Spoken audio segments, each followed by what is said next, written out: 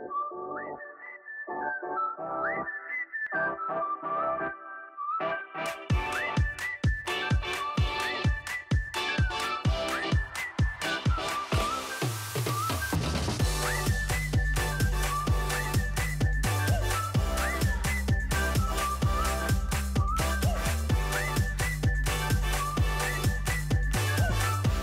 JuanBag actually started 2019, the business model of JuanBag. I joined a Plastic Smart Cities hackathon. My idea there was one box at that time. So it's a reusable takeout containers for food establishments and I wanted to pilot it in UST.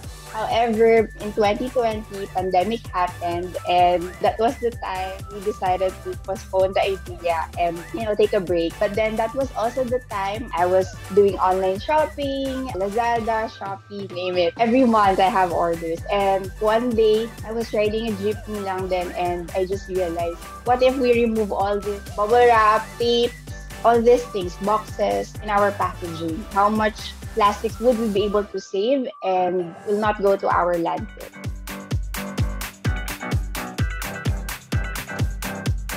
Juan meaning Filipino, so it represents Filipinos, and we want to market here, market our Filipino skills, culture, and also uplift the uh, livelihood ng mga Filipinos. So Juan also sounds like Juan. We put it into just one bag, one bag for all things that you need. So in that sense, we are removing other unnecessary packaging and just using just one packaging for our online orders. One bag actually is the bag itself for a step-by-step process. So we collect plastic packaging, Shopee, Lazada, bubble wraps from consumers. Types of plastics that we accept right now are e-commerce online businesses, pouches, mailers and then bubble wraps. Then sanitize it. We give it to communities for weaving. For consumers, we are providing it or selling it to online sellers. At the same time, consumers have the option to return the bag for reuse. In terms of operation, right now we are putting all our efforts in collection plus the product testing. So we have a partnership with an organization in Taguig that is employing nanais who will do the weaving and crocheting. So we're collaborating with them. As for the struggles, there are a lot since ECQ is happening and we are collecting the plastics using bikes.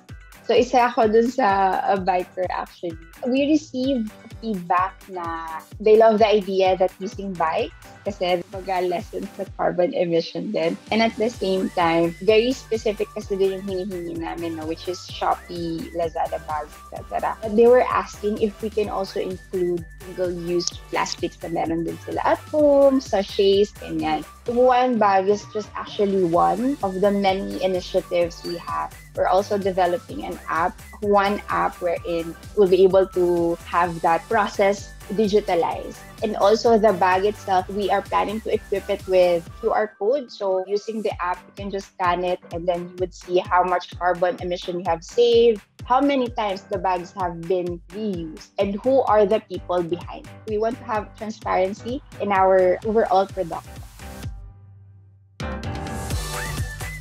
The app, we want to promote a community, kumbaga, na kung saan it's all about practicing, you know, conscious consumerism, practicing community-based relationship, like having your own urban garden, uh, you know where to look. And then another is from Juan Bag, since we are collecting it by bike, we want to have a drop-off point. So we want to call it Juan Bin. So bin, parang the modern trash bin we have. So it will have equipped with QR codes where you can just uh, for example, a plastic bottle and then the machine will already recognize what type of plastic is that. And then we'll have a centralized and digitalized way of collecting trash for every community. This is the time we have to raise our voices and actually talk to our government, talk to big corporations that it's time that we have to rethink and redesign the way we are receiving our online orders and that we know where our orders are coming from, who made it, and what's the environmental effects of it.